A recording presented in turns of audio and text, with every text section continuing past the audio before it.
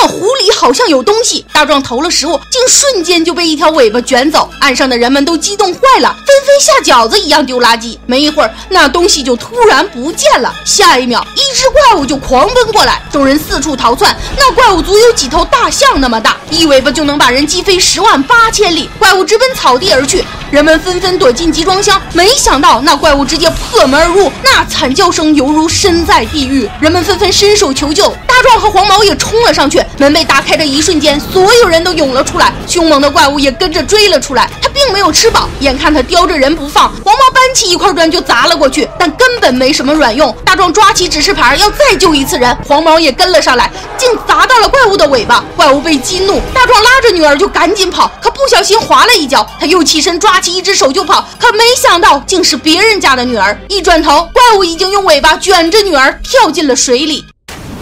眼看女儿就在对面，自己却无能为力。这个父亲已经愤怒到了极点，而这一切都是因为人类把有毒的化学制剂投进了汉江导致的。直到悲剧的发生，人类才开始试图用消毒来挽救。心如死灰的大壮在隔离时突然接到一通电话，竟然是自己的女儿。原来女儿在尸体上翻到了手机，他疯了似的喊警察帮帮自己，但警察怎么会相信一个疯子的话？无奈，一家人决定制造混乱，趁机逃跑。他们坚决要带女孩回家。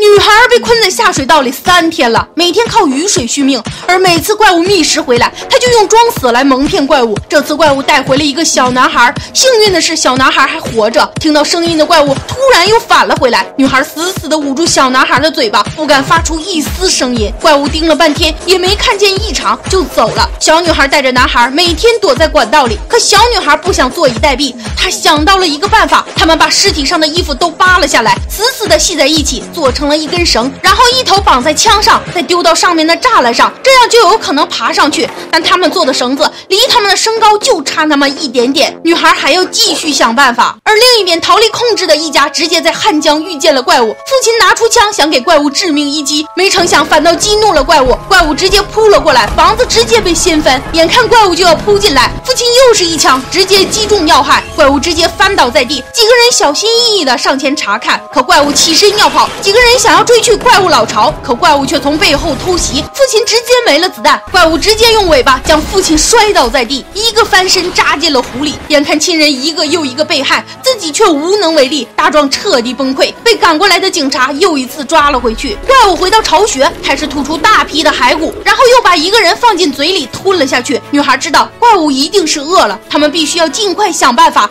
逃出去。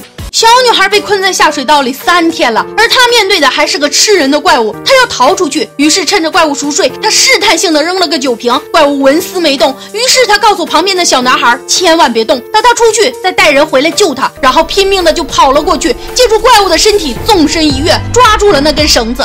他努力的向上爬，而就在女孩马上要成功时，却被怪物发现了。怪物还没醒，只是将女孩慢慢的放了下来，而女孩赶紧示意男孩躲起来，可男孩早已被吓。吓到瘫痪，女孩迅速跑了过去，抱住小男孩，可怪物直接就扑了过来。父女连心的大壮感应到了女儿的危险，胁迫护士又一次逃了出来，并找到了怪兽的巢穴，却看见怪兽嘴里叼着女孩的胳膊，正冲向汉江。他拼命的追着怪兽，而汉江已经设置好诱饵，他们要使用生化武器。那生化武器可以使方圆几十公里寸草不生。等到怪物上岸，大量毒气洒在了怪物身上，大壮不顾一切的冲了进去。眼看怪物已经没有力气，大。壮赶紧掰开他的嘴，从里面拽出了女孩。女孩已经没有了呼吸，但他还是死死地抱着小男孩。父亲紧紧地抱住了他，丧子之痛，此仇必报。眼看怪物起身要逃，暴怒的父亲砸碎了指示牌，就猛刺了过去，一下又一下，又直接被怪物打晕。女孩的叔叔及时出现，一次次将汽油瓶砸向他，而一个流浪汉也将汽油洒在了怪物身上。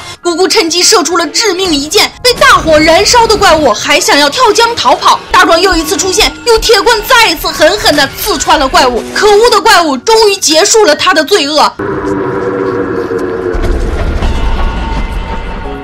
他们最终为女孩报了仇，可女孩却再也回不来了。最后，大壮领养了小男孩，因为那是女儿的重托。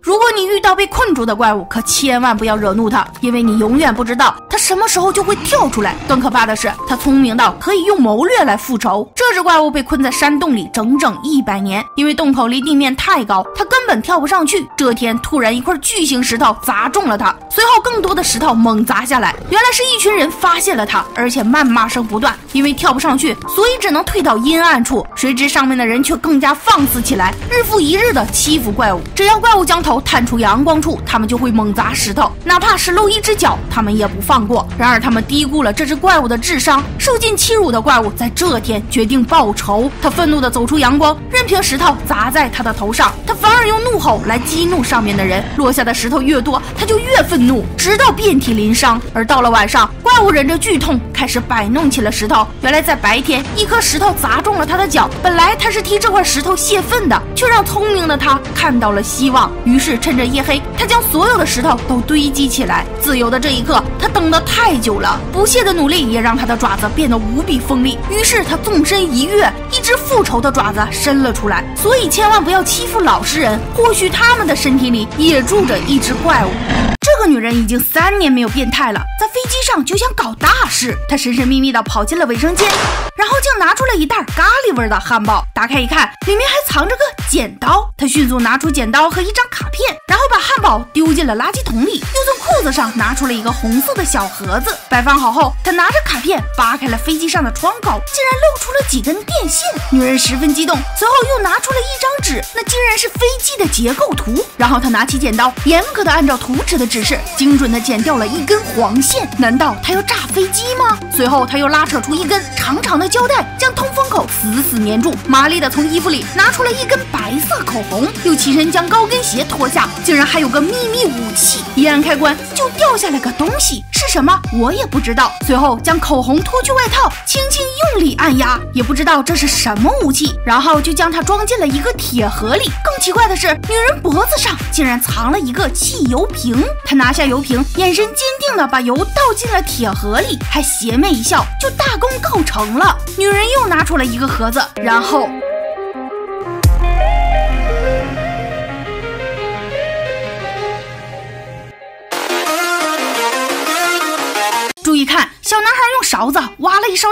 下一秒勺子就呲呲呲的不停向外喷射黄色液体。男孩使出了大力神掌，也控制不住他。没办法，男孩把他丢进了鱼缸里，盖上盖子，轻轻用力按压，终于制服了他。可抬头一看，一家人都被淋成了落汤鸡，脑袋上还点缀了几颗香菜，这不 BBQ 了吗？可一家人非但没生气，还欢呼了起来。又是擦桌子，又是洗碗的，没一会儿的功夫就收拾完了。男孩再也不敢用勺子了，就对章鱼动起了手。结果这滋滋滋黑乎乎的，喷的更厉害了。男孩赶紧去厨房拿了个盘子盖上，还好及时控制住了。可抬头一看，全家人都变成了黑人，吃个饭咋就这么难？结果一家人更疯狂了，又开始擦桌子、洗碗，这肯定是 的一家人都被憋出内伤了。收拾完后，男孩再也不敢吃饭了，于是就想喝饮料，结果冰箱也被憋疯了，掉出来乱七八糟一堆新鲜物资，有鱼有鸡还有水果，只有你想不到的，没有冰箱里出不来的，这让本就住在又急又破的一家人更是雪上加霜了，连个落脚的地方都没有了，只剩下一个头，但他们却快乐极了。不得不说，这个冰箱太神奇了，这是泰国的脑洞广告，你能猜到他们卖的是什么吗？这是一面诡异的墙，只要在上面写上字，就会有人自杀。学校新来个清纯可人的美女娜莎，所有的男生都想约她吃饭，但隔天娜莎的身上就奇臭无比，想要约她的男生都被她熏到呕吐。而学校的厕所墙面上就出现了“娜莎臭脸绿茶”的字，这个写字的人叫小美，因为嫉妒新来的娜莎，就泄愤的在墙上写了自己的邪念，却意外成了真。小美也发现了这堵墙的秘密，于是她又许愿让自己暗恋已久的小帅爱上自己。转天，小帅就替。她挡住了飞来的篮球，小美以为爱情来了，可 ไม่ได้ถามเธอ ถามครู 没不来。小美懵了，怎么不灵了？原来啊，那堵墙是好的不灵，坏的灵。一旁的小胖狠狠地嘲笑了他一番，小美气不过，又在墙上写着“疯狗小胖乱咬人”。等他从厕所出来时，一群同学都围在栏边。他冲上去一看，小胖正在像疯狗一样到处咬人。小美心里想，活该。结果小胖就被医院的神经科绑走了。这下终于没有人和自己作对了。可转天，小美来看小帅，发现娜莎不臭了，小胖也正常了。原来是保洁阿姨在清理墙面。小美。美急了，拽起阿姨就要阻拦，阿姨臭骂了她一顿。无奈小美只好把这堵墙的秘密告诉了她，可阿姨却说她脑袋有病，还把她在墙上乱涂的事情告诉了小美的班主任。班主任又臭骂了她一顿，这下小美怒了，她希望保洁阿姨赶紧死。第二天，阿姨就吊挂在那里窒息而死。小美慌了，她赶忙冲进厕所擦掉自己写下的字。等她出来时，听到所有的人都在议论。小美这时看见了死而复生的保洁阿姨，这次她吓到了，发誓自己不会在墙上写字。但转头看见了绿茶娜莎在勾引小帅，这让小美又一次失去理智。她要让娜莎变成丑八怪。看见捂着脸跑出来的娜莎，小美露出了邪恶的笑，而墙上又多了一行字：娜莎月球表面的丑八怪。可当她回到班级时，一个女生就径直走到窗前，然后就跳了下去。惨死在操场上，小美不解，她意识到一定有人知道了墙的秘密，她赶紧跑向那堵墙，墙上确实多了一行字：某某自杀。这时食堂也出现了神志不清的女生，她拿着碗又唱又跳，墙上多了一句：你这个疯子。还有女生被一群男生追着跑，墙上又多了一句：你这个荡妇。还有人瞬间变成了疯狗，全部都被送进了精神病院。学校越来越诡异，字也越来越多。突然，小美看见有一条写着“小帅，你这个惨”。废，他马上拿毛巾想要擦掉，可刚要动手，上面一行红字让小美彻底崩溃，赫然写着“擦掉墙上的字会死”。她实在没有勇气去死，可还是有很多人走进去，看着眼前的小帅变成残疾，学校里的人也都步入了罪恶深渊。他开始后悔，后悔自己运用那堵墙。他向娜莎认错忏悔，可娜莎却说自己知道一切，然后邪恶的笑着。是娜莎赋予了这面墙魔力，小美杀不死娜莎，但一切都是因为自己而起。她决定。结束这一切，而娜莎却大喊：“小美要去擦掉墙上的愿望。”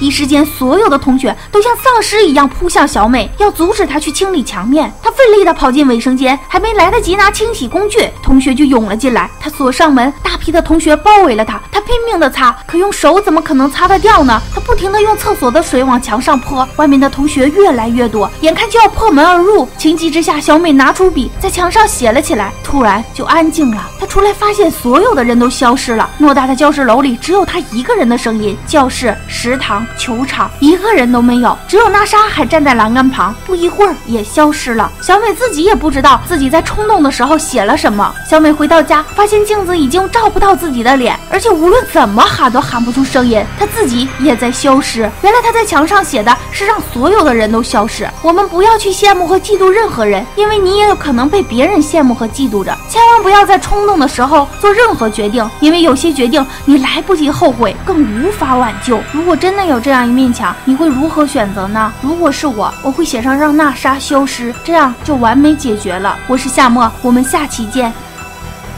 小胖妹特别喜欢跳水，看见别的小女孩从高台跳水，哇哦，那简直太酷了！她也想试试，于是她一跳，哎，就啪叽拍在了水面上。那个小女孩一看小胖妹根本不会，又十分挑衅的跑到了八百米的高台。女孩嗖一下，两个空中反转三百六十度后，又完美的落入水中。更厉害的是，落水后居然还没有水花，这不仅惊呆了岸上所有人，还迎来了佩服的掌声。小胖妹一看。他也想得到掌声，于是也爬到了八百米的高台，果敢的又一跳，结果啪叽，再次拍到了水面上，还激起了千层浪。更惨的是，根本没有人注意到他，于是他赶紧游到岸边，想要得到妈妈对自己勇敢的赞赏，但妈妈却根本啥都没看见。小胖妹失望极了，可一转头，女孩又跑到了最高的高台上，还要加大难度仰跳，可把小胖妹羡慕懵了。女孩一个转体，平稳下坠，又来了个漂亮的侧踢，真是帅呆了。更惊。艳的是，女孩落水的一瞬间还是没有一滴浪花。于是小胖妹又想作妖试试了，她勇敢地爬上了最高的跳台，好不容易站起来，还差点被海鸥撞倒。万万没想到，因为这一跳，